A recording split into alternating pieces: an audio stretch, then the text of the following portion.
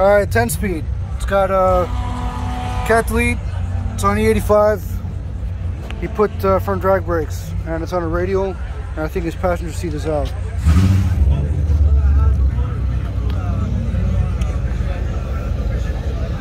Oh, there's the ProCharge Ram. Yo. One second. All right, this is uh, LT1. Uh, headers, dumps, drag brakes, drag radials, full interior, manual. Header Z. We're doing a 40 to 50 roll. I'll close it for you.